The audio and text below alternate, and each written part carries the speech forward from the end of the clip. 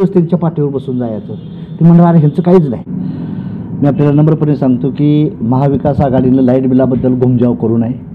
आदरणीय माझे मित्रच आहेत आता मंत्री असलेले राऊत साहेब आणि अजितदादांनी आणि उद्धव साहेबांनी एकत्र बसून शेतकऱ्याचा प्रश्न सोडवण्यासाठी पूर्ण सरसकट लाइट बिल माफ केलं पाहिजे. एखाद्या उद्योगपतीचं लाइट बिल करून असतं ते माफ होतं एका मिनटात. पण सामान्य शेतकऱ्याबद्दल किंवा सामान्य कामगाराबद्दल मध्यमवर्गीयाबद्दल तुम्ही फार कायदा दाखवण्याचा प्रयत्न करता. पण आपण मोठं बोलू नये एवढं. सरकार यायच्या अगोदर सरकारच्या सरकार आल्यानंतर देखील तुम्ही काही सांगितलं होतं की कोरोनामुळं शेतकरी जनता सर्वच कामगार परेशान आहेत. मग आपण काय करू? लाइट बिल माफ करू. त्या शब्दाशी एकनिष्ठ राहावं हे त्यांना नम्र आव्हान आहे राष्ट्रीय समाज पक्षाचं.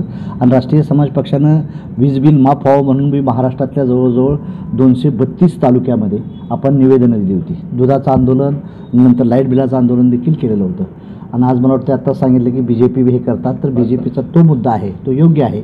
भारतीय जनता पार्टीचा आणि लाइट बिल ह्या राज्य सरकारनं बंद करावं या मताचा राष्ट्रीय समाज पक्ष आहे. पाच आंदोलनामध्ये राष्ट्रीय समाज पक्ष नाही आता ते बी जे पीनं घेतलेलं आहे तर बी जे पी चांगली गोष्ट आहे. आणि मी राष्ट्रीय समाज पक्ष बी आंदोलन करेल त्याच्यात काय मिळून करणार आज- बी जे पीचं चाललंय तर बी जे पीचं चाललंय त्यांना आमचा सपोर्टच आहे का प्रॉब्लेम येत नाही. मी माझ्या पक्षानं आंदोलन केलं होतं अगोदर विशेष भाई तुम्ही सहभागी होणार का त्या दिवशी? आता समाजाचा प्रश्न येत नाही. ते त्यांचं चाललेलं आहे काय होतंय ह्या माध्यमातून प्रत्येकाच्या कार्यकर्त्याची ताकद समजते.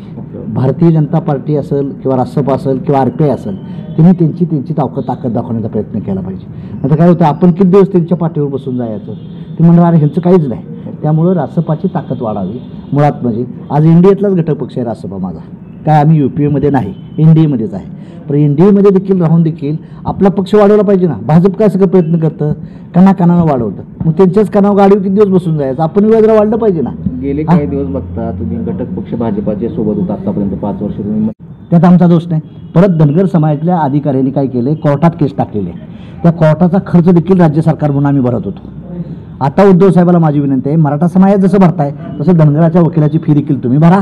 आणि धनगर समाजाच्या तेरा योजना देवेंद्र फडणवीसच्या काळात आम्ही लागू केल्या त्या त्याला बजेटरी तरतूद करा. आम्ही केली ती ती जर झालं असतं तर धनगराची मुलं I S I P S व्हायला सोपं झालं असतं. किती दिवस त्यांनी मेंढर राखायचं? दूध काढत बसायचं. त्याची पोरं टॉपला शिकली पाहिजे नव्वद वर्षापूर्वी स्वातंत्र्य यांना मिळायला पाहिजे होतं पण ते मिळालं गेलं नाही.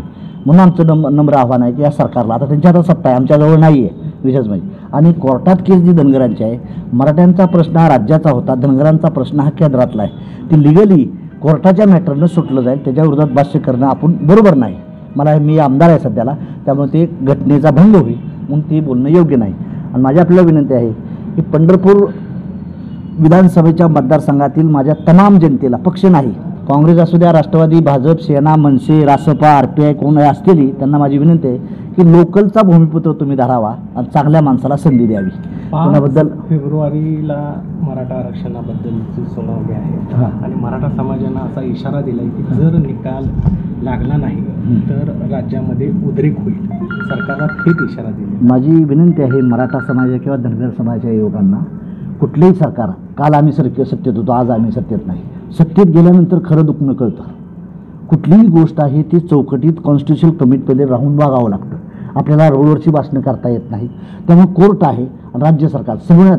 आणि मराठा समाजाला कुठल्या पक्षाचा सरकारचा विरोध नाही आहे विद्यमान सरकारचा विरोध नाही बरं का. म्हणजे उगाच आपण एकमेकाबद्दल चिखलफेक करण्याची काही गरज नाही. आणि त्या जात्यात गेल्यानंतर कळतं काय भानगड आहे मंत्री मुख्यमंत्री झाल्यानंतर. त्यामुळं उद्रेक न करता संयमानं मराठा तरुणांनी आणि धनगर तरुणांनी हे घेण्याचं काम करावं. कायद्यानं चालावं कोर्टाच्या बाजूनं चालावं. आणि सरकार समजा एखादं ढिलं होत असेल तर ते दाबण्याचा प्रयत्न करावा. परंतु तोडफोड सरकारचं नुकसान करण्याची भंगडी मराठा तरुणांनी करू नये हे माझं नम्र त्यांना आव्हान आहे. विजय वडेट्टीवार जे ओबीसी नेते आहेत त्यांच्या वक्तव्यावरून मराठा समाज आक्रमक होताना दिसतोय. भविष्यामध्ये ओबीसी आणि मराठा असा काही संघर्ष? माझी विनंती आहे विजय ट्विटरवर मी काही वाईट बोललेले नाहीत. विशेष म्हणजे एखाद्या ज्या समाजातून तो माणूस आला आहे त्याच्याबद्दल भावनिक पद्धतीने बोलला असेल पण ती मराठा समाजाविरोधात बोलले नाहीत विशेष म्हणजे आता उगच एखाद्याने लावूनच लावून घ्यायचं असेल तर ते बरोबर नाही. ते काय म्हणले? ओबीसीच्या आरक्षणात धक्का लावून देणार नाही. विषयच नाही. तेच मुद्दा होता. आणि त्यांचं बरोबर आहे म्हणणं ते. त्यामुळे माझी विनंती आहे मराठा समाजाने वडेट्टीवारने असं काय गलत इन्फॉर्मेशनचं वक्तव्य केलं नाही या मताचा मी आहे. कारण परवा मी जालन्याला मी स्वतः होतो वडेट्टीवार होते. आणि मराठा तरुणांनी आणि ओबीसी तरुणांना माझी विनंती आहे की असं जहाल होईल असं वक्तव्य दोघांनीही करू नये. कारण आपण एका राज्यातली माणसं आहे एका गुन्ह्या गोविंदानं आपल्या राज्यात राहायचं आहे.